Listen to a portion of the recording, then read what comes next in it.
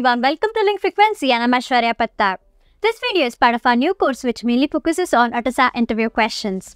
Each part includes three AutoSAR questions along with the answer which significantly enhances your preparations for the upcoming interviews. So without any further delay, let's begin with part 5 of AutoSAR interview question series.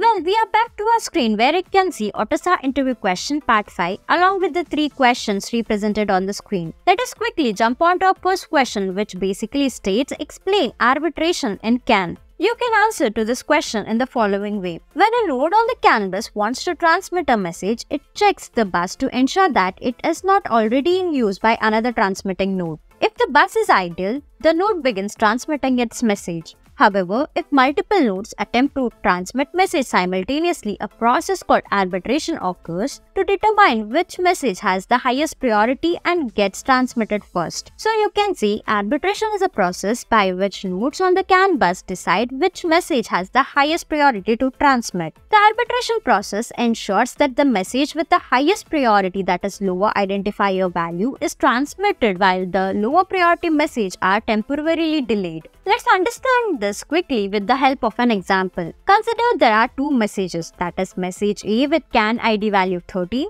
and message B with CAN ID value 11. Now let's see which one gains the bus access. Considering node A with identifier value 13, its binary equivalent is 1101. On the other hand, considering node B with identifier value 11, its binary equivalent is 1011. Now let's see who gains the bus access. Node A and Node B both have the value 1, so the bus remains in the recessive state. Then moving on to the next bit that is Node A has value 1 and Node B has the value 0. Hence, it clearly states that the bus state is 0. So, Node B has won the arbitration and got the bus access to transmit its data further until complete message is sent. Now Node A stops sending its data as B got the bus access. In short, by looking at this example, you can see that lower the identifier number, higher is the priority. That is the main reason all critical safety messages have the lower identifier value in order to have the immediate action.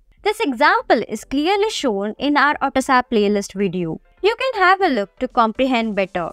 Now, let us quickly jump into our second question, which basically states, can we send more than 8 bytes of data in CAN? The answer to this question is yes. With the introduction of CANFD, it is possible to send more than 8 bytes of data in a single CAN frame. In traditional CAN, the data field is limited to 8 bytes. However, CANFD allows for larger payloads supporting up to 64 bytes of data in a single frame.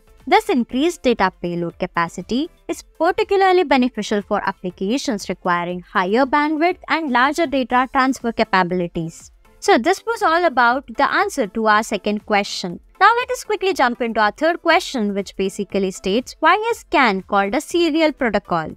In a serial protocol, data is sent bit by bit sequentially along a single wire or communication path. CAN is called a serial protocol because it transmits data serially over a single communication channel. CAN is designed for use in harsh environments such as automotive and industrial applications where reliability is crucial. The use of serial communication helps to mitigate issues such as electromagnetic interference and noise, thus enhancing the reliability of data transmission. By using a single communication channel, CAN reduces the complexity of wiring and hardware requirements for communication between the nodes. So these were the three questions that might be asked in your interview rounds. For detailed explanation for all the three questions, you can check out our AutoSAR playlist. Well, this was part 5 video of AutoSAR interview question series. I hope you found the video insightful. For any queries, you can surely comment below in the comment section.